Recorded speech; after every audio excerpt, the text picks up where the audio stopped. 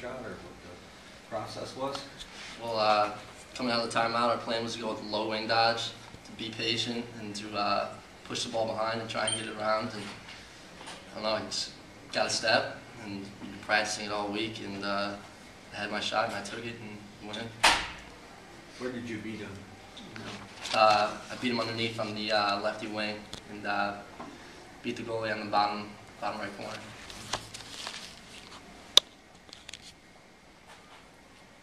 What does this mean for you guys? Uh, it's something that the seniors were talking about in the beginning of the week, that they'd never beaten Georgetown. And uh, we had a hard week of practice uh, all week. We were going against long poles for just 6v6. We had six long poles versus us, and we just wanted to work hard and run hard, and uh, it worked out. Our uh, offensive middies went against short poles a lot today, and we got a lot of offense moving, moving the ball behind and getting it outside, and our middies got it done with their shots. We, uh, everyone contributed today. It was a great, great win. Talk a little bit about so sort of your quickness against their size and, you know, did the quickness, you know, quickness prevail? Yeah, well, uh, me- and Steve DeMario, we, uh, we're not the biggest attackmen, and uh, we just we know how to use our feet, and uh, our middies know that. We looked uh, looked to feed right after our change of direction, and uh, they knew that they were going behind back doors all day, and uh, we just we just moved the ball well. We got our opportunities, and we shot a lot better percentage today, and that's that's how we won the game. You talked to a lot, was, uh, said, you talked about the offense and you not scoring and, you know, the third period, there was only one goal, and the fourth of a quarter, there was 11 goals. What was the difference in those two, two games?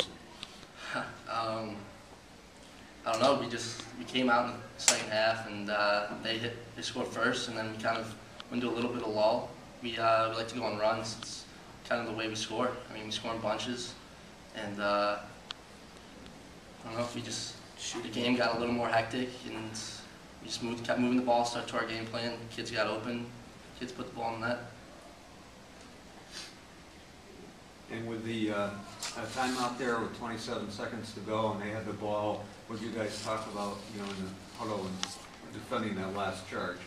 We, we let the defense just, just, uh, settle down, and they, we let them talk, and uh, they said it's their turn to step up and make a stop for us, and uh, they held them to, what was it, nine, nine goals or something like that, and 11, um, 11 goals, and, uh, oh.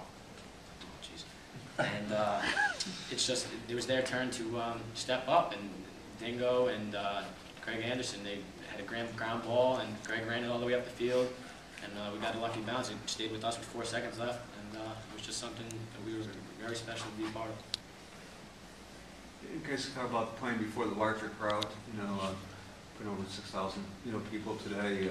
Could you have, uh, really hear the UMass fans out there? Yeah, they were great today. I mean, usually you see the fans before the game, you hear them before the game. When that game starts, it's just you're on the field, you, you block you block everything out. But we heard them, a couple go UMass chants, and it helps. We've got great fans.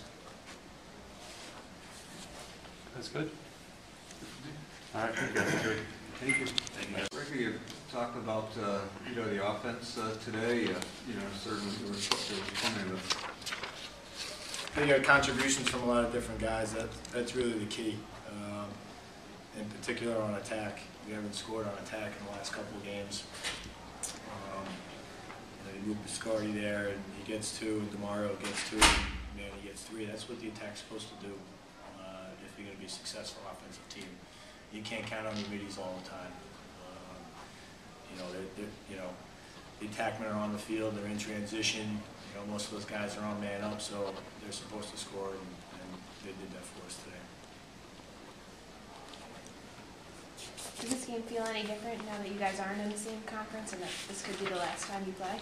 Um, no, you know, uh, you know, anytime you play a quality program such as Georgetown, you know, you, you, um, you get fired up for it. We, we've had a great rivalry, and if you look back over the last ten years, there's probably six or seven of those were decided by one goal. So it, it doesn't, it didn't feel any different. It, it actually felt like a league game, you know, because we're so used to it. How does the win? How does your team take the win into the postseason and your final regular season games?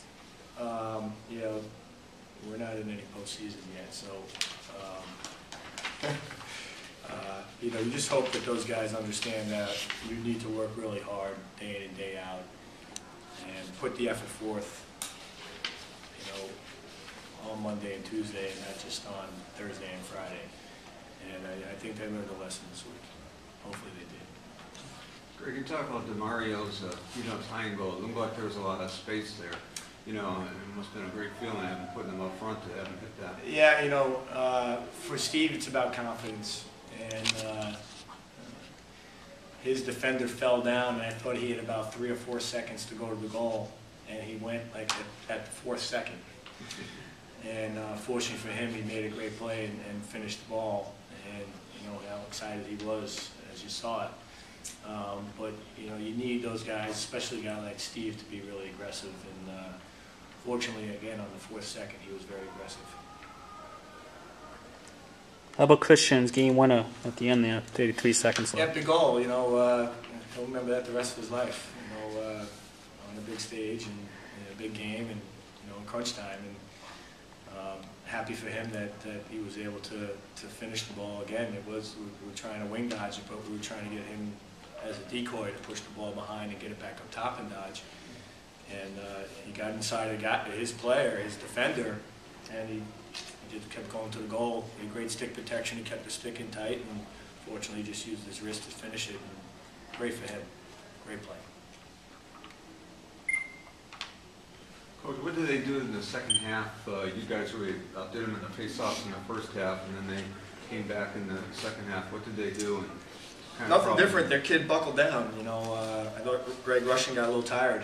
You know, uh, they did a good job of running him around, and, and uh, I think they knew that he took most of our draws, and we had to throw Anthony Teresco out there. But they also dominated wing wing play. You know, their wings, uh, uh, whether it was Nixon or, their other pole, uh, or Shubil, who's number nine, those guys are fantastic. And, you know, they're responsible for a lot of those GBs as well. It mean to you, Greg, finally uh, beating Georgetown? You know, their top guys, some up the seniors. Yeah, uh, I haven't beat them in since uh, 2005, right? So five years. Uh, it's great, good feeling.